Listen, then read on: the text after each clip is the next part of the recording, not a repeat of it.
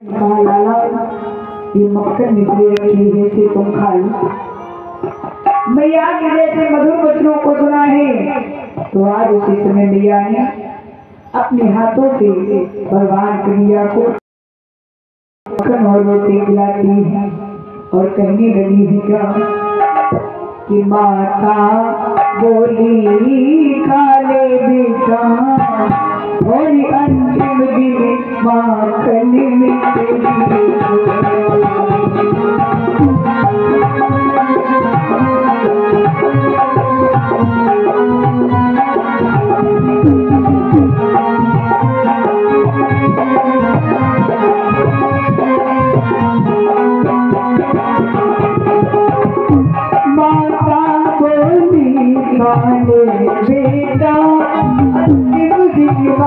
में तेरी को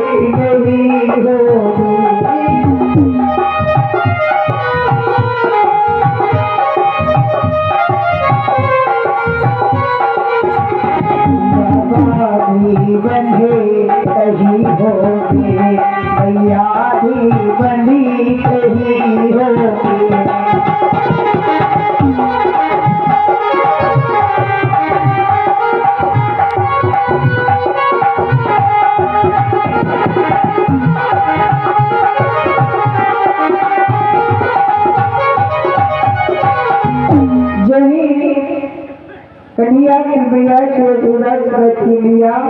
मुझे बहुत तेज़ी से भूख लगी है। तो मैया आज खिलाया है। और भैया भैया बोल रही हो कि आज के बाद मक्खन मिश्री खाने को नहीं मिलेगी। और ये तुम्हारे हाथ में आँसू किस प्रकार से है? तो मैया कहने लगी कुछ नहीं कन्हैया। कन्हैया कहने लगे नहीं मुझे तो बताओ, क्या बात है? ऐसे क्यों बोल रही हो? कि आज के बाद मक्खन मिश्री खाने को नहीं होगा। हम कहीं और होंगे और बाबा कहीं और होंगे। तो आज उसी समय मैया आँखों में आँसू करके बोलती है पर कन्हैया कहने लगे, भैया जरा एक बार मुझे बताओ, क्या कारण है? मैया इन वचनों को सुनती है कहती है, माँ तो सिर्फ़ माँ हुआ करती है। किस दुष्ट तुम्हारे आँखों में आँसू मिलाए हैं? भैया, एक बार मुझे बता दो। भगवान भैया बार बार मैया से पूछती है। कहा तुम्हारी आँख अगर किसी को फोड़ दूँगा? मैं उन हाथों को तोड़ दूँगा। लेकिन एक बार मैया आज बड़ा ही दुखी हो जाती है। भगवान कन्हैया मैया के प्रति इतने सुंदर वचनों का प्रयोग करते हैं। एक बात ध्यान में बोले, जिस माँ ने मुझे जन्म दिया है, जरा उसे याद करो, माँ का हमारे ऊपर कितना बड़ा अधिकार है। अगर उस मैया के साथ में जरा सा भी छल करते हैं ना तो कभी कल्याण भी होने वाला है। जिस माँ ने मुझे जन्म दिया है तो कि संकेत आया है कि जिस दिल में माँ प्यार नहीं, इंसान नहीं है, माँ जिस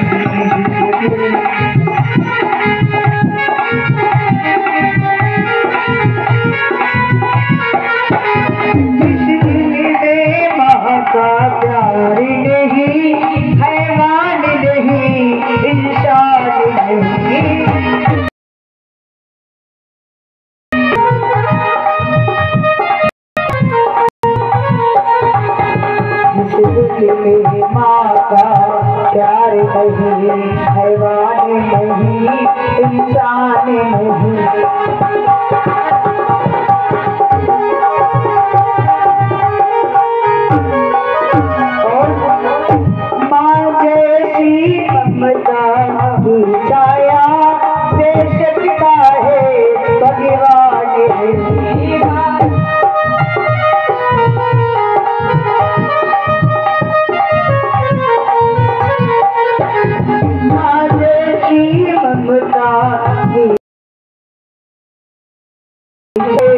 इंसान